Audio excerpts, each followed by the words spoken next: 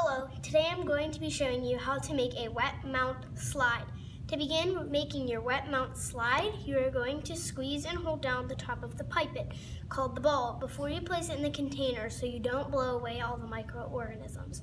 Don't let the bulb of the pipette go until it is completely in the container. To collect some euglena, you are going to let go of the bulb of the pipette. Now you are going to place two to three drops of your culture onto your slide. Gently place the rest of your organisms into the container for other students to use.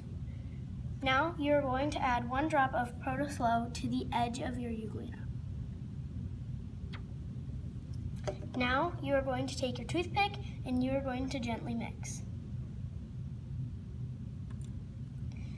Now to add your cover slip over your screen, you are going to put it on an angle and gently drop it on so you get all of the air out of one side.